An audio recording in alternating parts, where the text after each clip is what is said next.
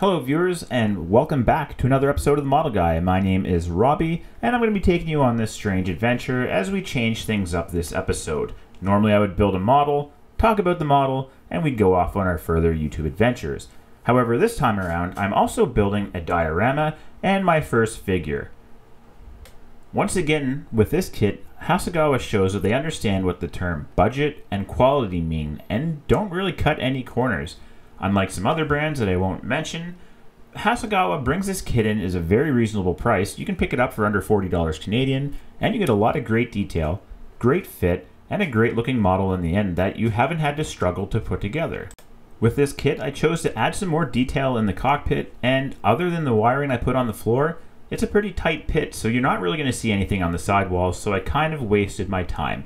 However, it doesn't hurt to practice those skills like adding cabling and stuff like that, because the next thing you know, you may be doing an aircraft that lets you see that. In this kit, Hasegawa gives you the options of doing the aluminum American test aircraft after it had been captured, or you can do it in the Japanese Navy colors. And I wanted to do something in the middle ground, and I knew I also wanted to make it a little more interesting with a diorama. I do have to give a shout out to the Small Subjects podcast because they have some great guests on there that talk about painting figures and putting together dioramas. There's a lot of pitfalls you can drop into as a noob, and it's not just something you throw together. There's a lot of planning in it, and a lot of their guests have gone into their process. And there's a lot more to it than I thought there would be. But I'll talk about that a little bit more here in a few minutes. First, I want to cover some more information about the George and why it was an important aircraft. As I stated in a previous video when building the Zero, that aircraft fell off pretty quick as new American aircraft came into service, and it wasn't until the George came along that the Japanese Navy had an aircraft that was equivalent to its counterparts, like the Corsair, Mustang, and Hellcat. It could match them in turns, it was just as fast, and it had a lot of firepower. The only thing going against the Japanese was they didn't have a lot of skilled pilots, and they didn't make enough of the aircraft to make a big difference. That doesn't mean the George wasn't dangerous, though. In one encounter, they managed to shoot down three Corsairs and damage another five, with no losses on their side. Out of the five Corsairs that returned, three were so badly damaged they would never fly again. One other change of Japanese aircraft design was that the George was a very rugged aircraft and could take a lot of damage compared to its predecessor, the Zero. Today, only three of the aircraft remain three in the United States and one in Japan. Let's talk a little bit about seam cleanup on a model. If there's one thing I hate, it's when I've put a model together, it's in primer, I start putting down some paint, and then I notice there's a ghost seam. And a ghost seam is exactly what it sounds like. It's a seam that just barely shows up, or it might only show up from a certain angles. So, how do you avoid this? With this build, I decided to try things a little bit differently. Instead of using my Mr. Cement S, the really quick acting glue, I decided to slow it down a little bit and use Tamiya's white cap.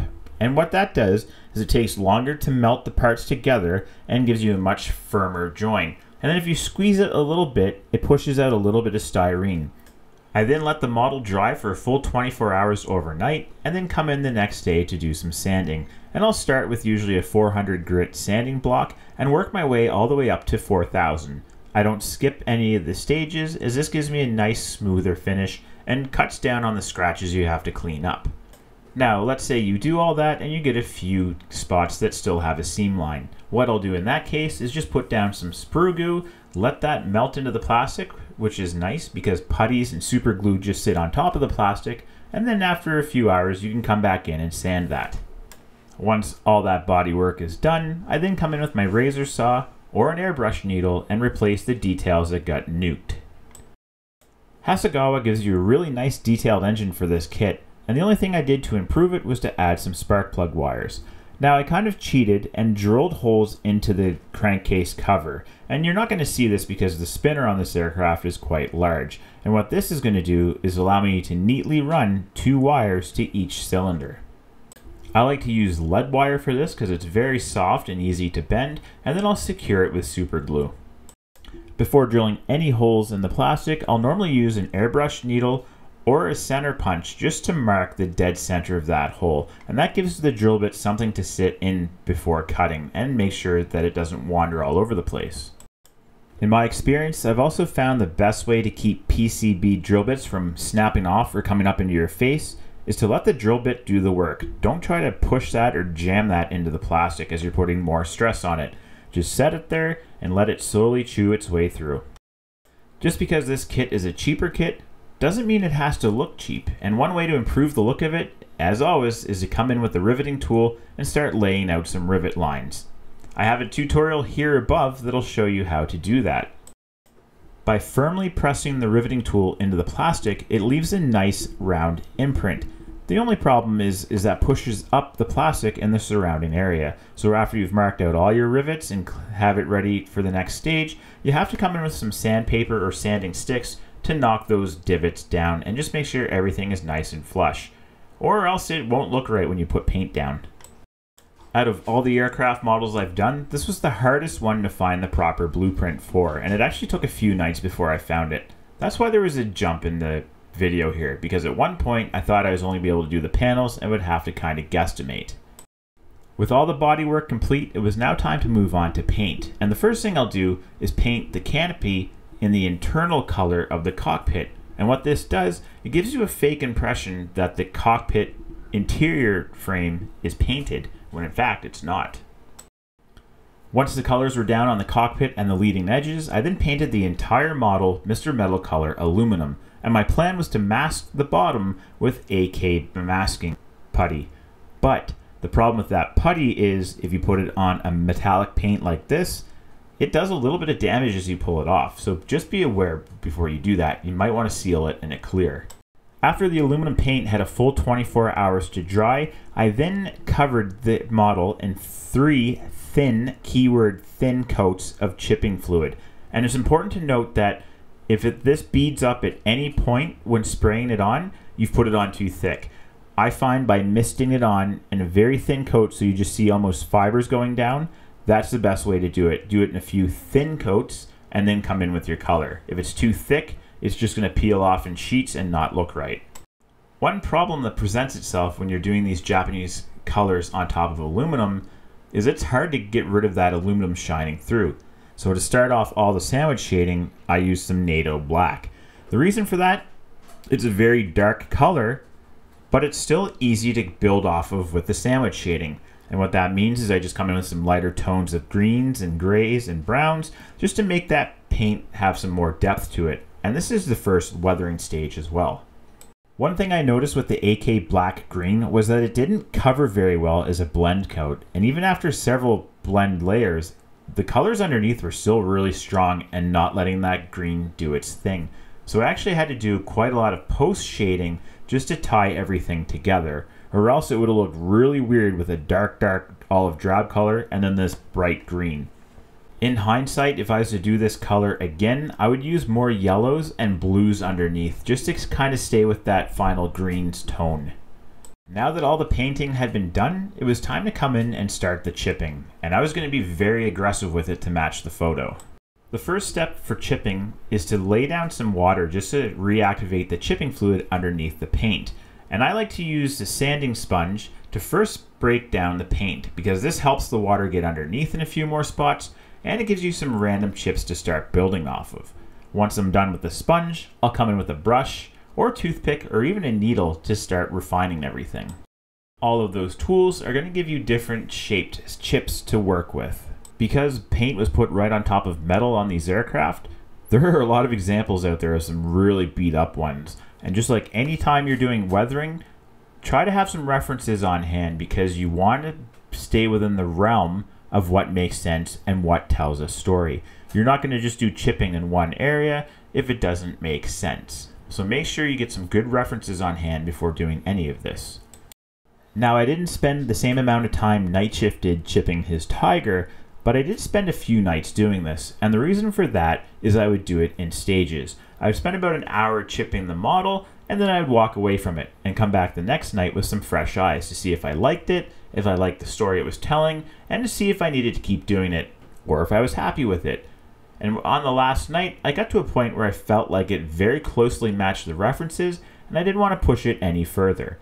I had a feeling that if you were to keep doing this for a few hours, you would start to zone out, and the next thing you realize, you've chipped off all the paint on the model, and you pretty much have to start again. To get the larger areas of chipped paint, I would use a toothpick because the wood was soft enough it would not damage the aluminum paint underneath, but it would allow me to pick off the acrylic paint quite easily. And it would start with small chips, and I could gradually build up to bigger chips to starting to tear off chunks of the paint. I found this was the easiest method to get chips and areas to match the references. Although that final brighter green didn't exactly match with the colors it was on top of, it actually worked out quite well in making the paint look very dynamic. And for the first time I feel on this channel, the next shot here is really going to show that. If you look at the tail and then the colors on there, you're going to notice there's a lot going on that actually works well together. Some light green, a dark green, the touch up, and then even where my thumb had started to polish the rudder a little bit and allow the aluminum paint to shine back through. That right there is what the whole idea of sandwich shading is. For the tail number on the aircraft, Woody put together a stencil in Fusion and then sent that over to me as a file to cut on my silhouette machine. Just as a heads up though, if you're masking on top of chipping fluid, you want to really detack your vinyl or else you run the risk of tearing up your paint in sheets. Even something as soft as washi tape, you're really going to want to detack as well. And here are some of the references I used for the chipping of this aircraft. The nice thing about having the American pilot in that aircraft is it means it's the exact time frame that I wanted to do this aircraft and diorama at. For one last layer of chipping, I use the sponge chipping method, and this just leaves some very, very tiny microchips in your paint and does a great job of tying everything together. Simply dab the sponge in some paint Unload as much as you can until it's almost leaving nothing behind, and then use that for your chipping. As drastic as that sandwich shading looks paint-wise, as soon as you hit it with a pin wash, it tends to push it back quite a bit. So when weathering an aircraft model, you have to keep in mind how all of these layers are going to add up in the end and interact with each other. Because you might spend a lot of time in one area and then have it completely nulled by another step further down the road. Before moving into oils, I like putting down a pin wash because that helps break the model down into smaller, more manageable areas. And instead of trying to do oils everywhere at once, you can pretty much do one panel at a time. Oils are still one of the most powerful paints you can use on a model by using different thicknesses, thinning it down, and using different brushes. You can really play with what's going on in the paint. I felt that my markings were too bright at this stage and I used some pink oil paint and blended that in just to fade it out. Because this paint was straight from the oil tube, you'll notice it has a very drastic effect and takes quite a bit of work to blend in with the stippling brush. After the markings, I chose to bring in some brighter green just to have the paint look more sun faded. Because this oil paint was thinned down quite a bit, it takes a while to build up the effect in multiple layers. This process doesn't have to take a long time either because once you're happy with the layer, you come in with a hair dryer, dry the paint, and then continue onwards rather than leaving it to dry. Think of it as hitting the save button if that makes sense. After the bright green, I then moved on to some field gray, which is a very dark colored green, and put that in areas around hinges, access hatches, and things like that, just to make them look like a moving, working part. And as the final step, I used some Starship filth just to make areas look even more grimy. To enhance the look of the kit gun barrels, I used some PCB drill bits just to hollow out the tubes and to make it look more accurate.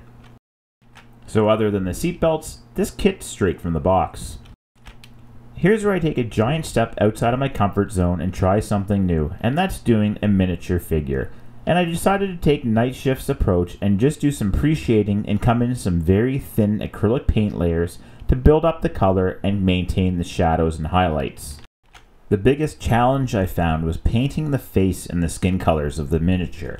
Even though I had the paints thinned down, I found that they weren't building up properly and I really had to play with how much thinner and retarder I was using. I ended up having to strip this figure twice before I was happy with the skin.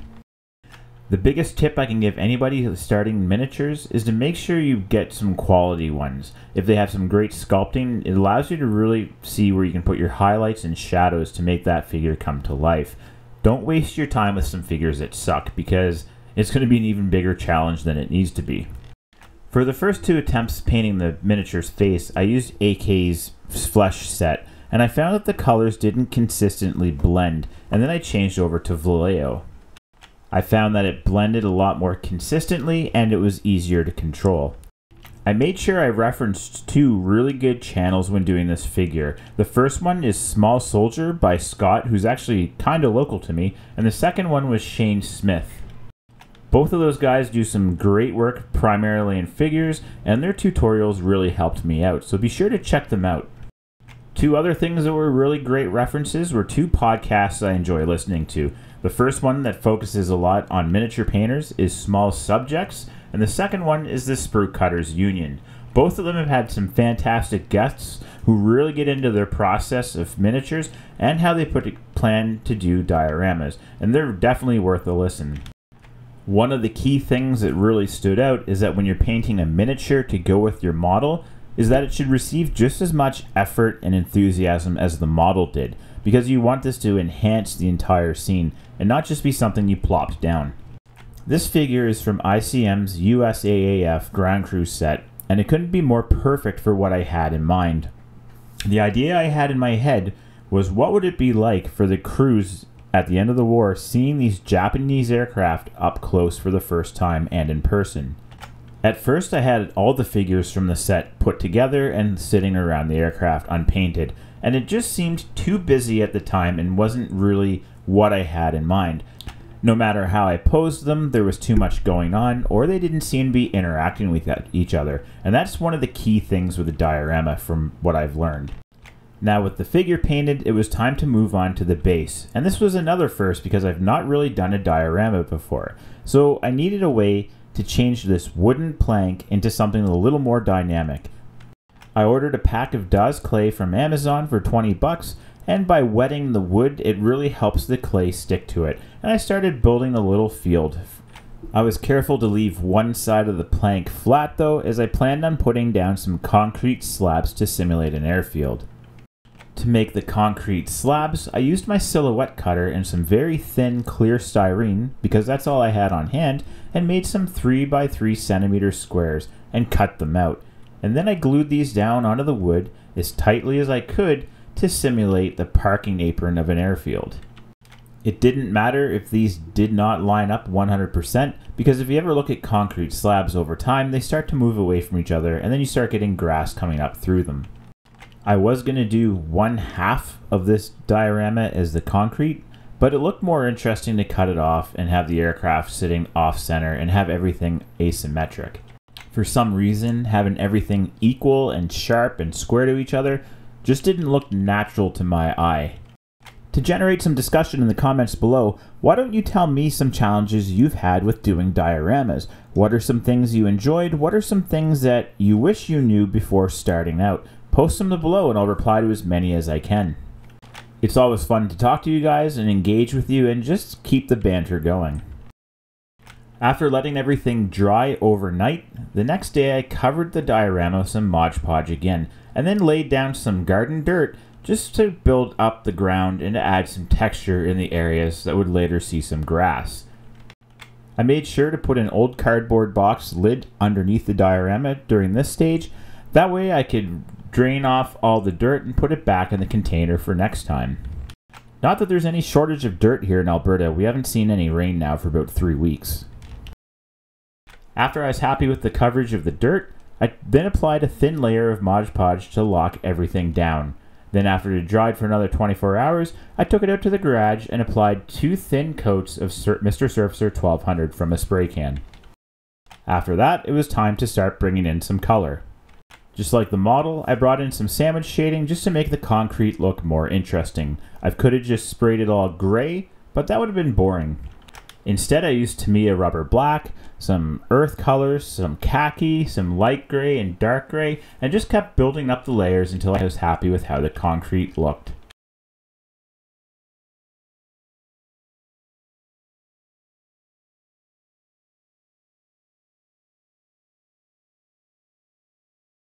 I used desert yellow for the base color of the dirt because it seemed to more closely match the colors in the reference photos I was using.